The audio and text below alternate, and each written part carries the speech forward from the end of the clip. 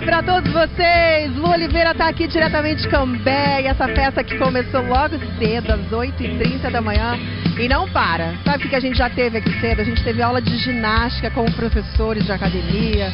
E tava lotada essa grama maravilhosa, todo mundo se mexendo, todo mundo dançando.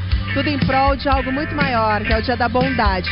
Aqui em Cambé são 300 voluntários. 300! E cada um ajudando de uma forma muito especial, doando muito carinho. E você que está em casa, eu quero te fazer um convite muito especial, viu?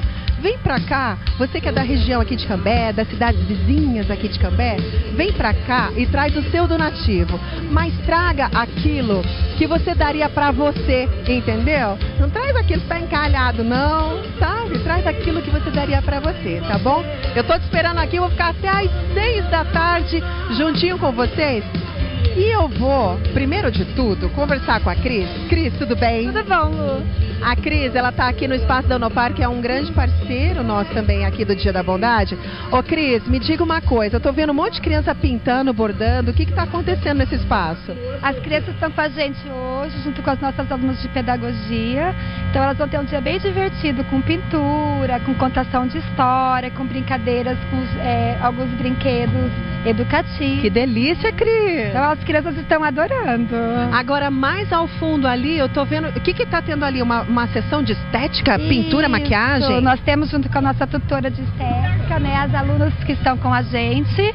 E elas têm um dia que elas podem vir se maquiar, fazer a sobrancelha. Então as Aham. alunas de estética estão ajudando a gente nesse dia. Então dá pra vir aqui, fazer maquiagem, sobrancelha, tudo de graça? E deixar as crianças brincando também com a gente. Vocês entenderam? Você vem com a família inteira. Isso. Entendeu? Você faz assim, ó. Você vem com a família inteira, né, Cris? Isso. Aí, enquanto o marido curte o show, junto com você também, a criançada sai pra brincar. E pra pintar aqui na barraca do Nopar. Sim. E você, As lindona? crianças estão brincando lá com a gente, olha. A, a criançada brincando lá no fundo. Com aquela garrafa pet, eles Som. aprendendo também Um, dois. algumas noções de matemática. Um, dois. Isso também são Um, dois, jogos que a gente faz com materiais reciclados. Então a gente passa para elas som. essa noção que a gente pode utilizar o material reciclado para fazer um brinquedo. Adorei. Deixa eu entrevistar uma das meninas aqui.